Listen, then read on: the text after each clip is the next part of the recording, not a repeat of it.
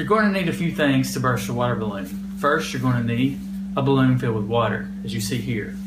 You're going to need a way to suspend the balloon in midair. Our solution to this was to use a clamp.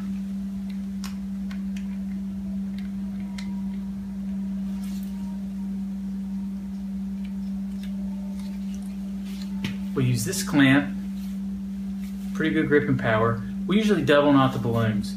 And then we have a ratchet strap suspended from the ceiling that we simply hook on to the clamp which holds the balloon. And this works very well. The ratchet strap, you can move up or you can move down to get that balloon just at the right height you need it.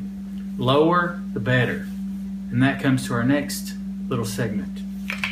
You're going to be messy. Water's going to get on the floor no matter what you do, so be prepared. Enter the kiddie pool. The kiddie pool catches about 80 to 85% of all the water from the balloons. After you burst about eight or nine balloons, you're going to have a couple inches of water in this kiddie pool. Sounds kind of crazy, but that's how it ends up.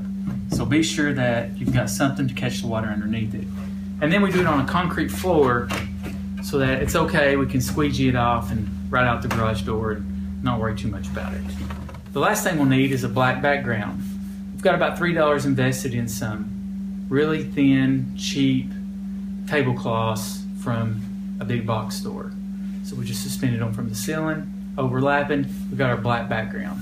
So when you when you are shooting this, you want to be sure your camera is opposite the black background. That way you take a good picture and get that nice black look uh, on the photo.